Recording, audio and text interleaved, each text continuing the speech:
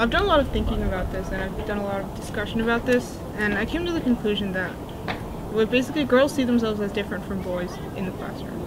And the only way to combat that is for girls to not feel different from boys, not just in the classroom, but outside the classroom.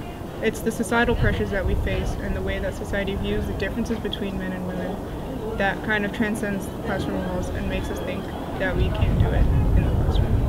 And so I think we should definitely work on, you know, de-emphasizing things like outward appearance, etc., and kind of work to empower girls and tell them that they can do whatever they want. Teachers also make a big difference. Um, the way a teacher is running their class and giving students a chance to talk. Some teachers will tend to, you know, like go for the more aggressive or more like um, more outspoken guys all the time, and then when someone who doesn't talk often raises their hand, they just get ignored.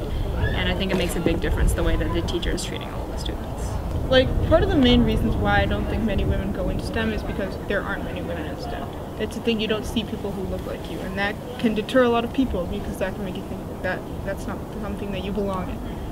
And so I think definitely, well, you, but you can only increase the number of faculty by increasing the number of people who go into STEM. And so if you don't see someone who looks like you, that should be an added factor for why you should do it, so that other people in the future don't have to feel that way.